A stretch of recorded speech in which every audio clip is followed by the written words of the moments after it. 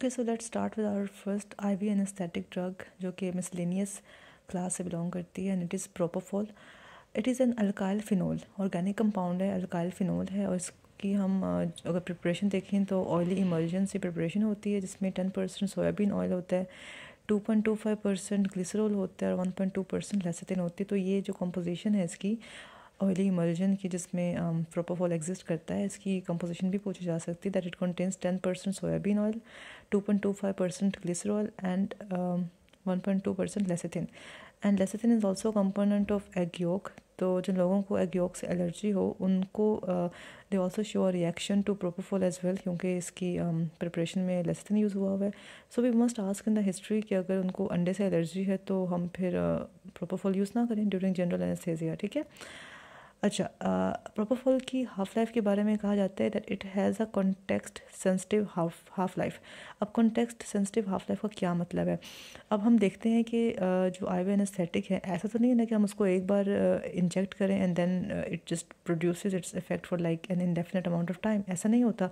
If you want the general anaesthesia to continue for like three और four hours अगर like तीन चार घंटे सर्जरी चलनी है तो we need the I V anaesthetic to work during that period ठीक है? लेकिन कोई भी एनेस्थेटिक इतना इफ़ेक्टिव नहीं है कि एक बोलस फॉर्म में हम इंजेक्शन दें और वो तीन चार घंटे तक एनेस्थेसिया प्रोवाइड करे। So we need to give a continuous administration और a continuous infusion of that general anaesthetic agent ठीक है? इस वजह से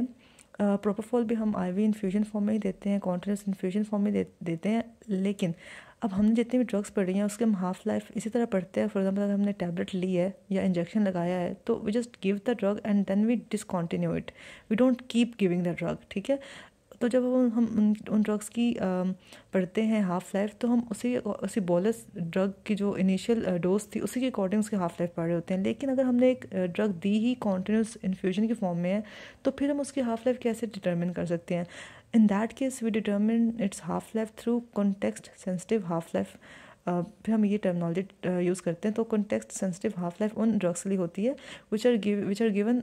in the form of a continuous infusion ठीक है, जैसे हम प्रोपोफॉल देते हैं in in the form of general anaesthetic Okay, so context uh, sensitive half-life of a drug describes the elimination half-life after discontinuation of a continuous infusion as a function of duration of the infusion ठीक है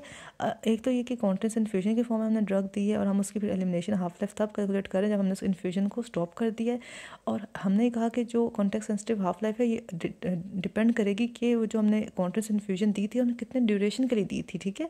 तो it is simply elimination half life after the discontinuation of a continuous infusion as a function of the duration of that infusion ठीक है? वो infusion कितने time तक दी? ये affect करती है कि एलिमिनेशन हाफ़ लाइफ कितनी होगी after the continuous infusion is discontinued तो this is a context sensitive half life अब इसका इसकी सिग्निफिकेंस uh, क्या है? तो context sensitive half life is use to assess the suitability of a drug for use as a maintenance anaesthetic ठीक है? Now I we anaesthetics हम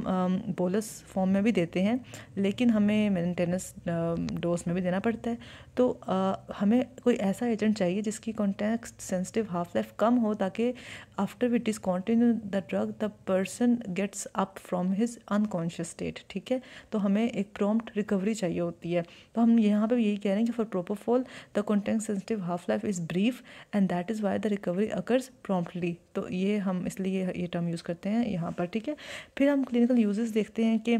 Uh, हम प्रोपोफॉल यूज़ कहाँ कर रहे हैं तो इट्स अ जनरल एनेस्थेटिक तो हम इंडक्शन ऑफ़ एनेस्थेसिया के लिए यूज़ कर रहे हैं in the form of bolus injection हम मेंटेनेंस एनेस्थेसिया के लिए भी यूज़ कर रहे हैं क्योंकि it has a brief context sensitive half life और मेंटेनेंस एनेस्थेसिया में हम इसको एज बैलेंस रेजिमन यूज़ कर सकते हैं विद अदर आई एनेस्थेटिक्स या हम इसको जस्ट विद ओपियोइड्स यूज़ कर सकते हैं। हमने ओपियोड कौन सा इंपॉर्टेंट पढ़ा था जी ये? दैट वॉज़ फेंटनल ठीक है? इसके अलावा कुछ एम uh, होता है monitored anaesthesia care monitored anaesthesia care में हम इसको एज अ सेडेटिव भी यूज़ कर सकते हैं। And fourth and the last one is it is also administered as T C I और target controlled infusion target controlled infusion में हम ये करते हैं कि हम एक uh, target plasma concentration set कर लेते हैं कि हमें इतनी टारगेट कंसनट्रेशन चाहिए। और फिर ना हम एक कॉन्टीन्यूस इन्फ्यूजन पंप के ज़रिए उसको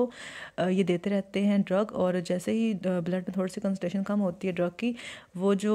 एक मोनीटर कर रहा होता है, ये इन्फ्यूजन पंप वो फ़ौर उसकी मतलब वो रेगुलेट कर, उसमें उतना सा, उतना इन्फ्यूज़ कर देता है ताकि उसकी जो कंसनट्रेशन टारगेट सेट की हुई है, वो फिर से मेनटेन हो जाए, ठीक है? और इसमें हम दरअसल ना फार्माकोकाइनेटिक मॉडल्स को यूज़ करते हुए इसकी एक टारगेट कंसनट्रेशन बनाते हैं लाइक पेशेंट का वेट कितना हाइट कितनी है जेंडर क्या है एज क्या है, उसके अकॉर्डिंग हम एक टारगेट कंसनट्रेशन सेट कर देते हैं और जो टारगेट कंट्रोल्ड इन्फ्यूजन पम्प्स हैं, ये उस उस टारगेट को बार बार अचीव करवाते रहते हैं, उसमें हम प्रोपोफॉल भी यूज़ कर सकते हैं ड्रग ठीक है? तो क्लिनिकल यूजेस क्या है प्रोपोफॉल के? That is induction anaesthesia maintenance anaesthesia sedation in sedation in monitored anaesthesia care MAC and uh, frequently uses TCI or target control infusion in which we use pharmacokinetic models um, based on patient characteristics to control an infusion pump based on target plasma concentration तो ये clinical uses हमने देख लिया और introduction देख लिया propofol का which is which was an IV general anesthetic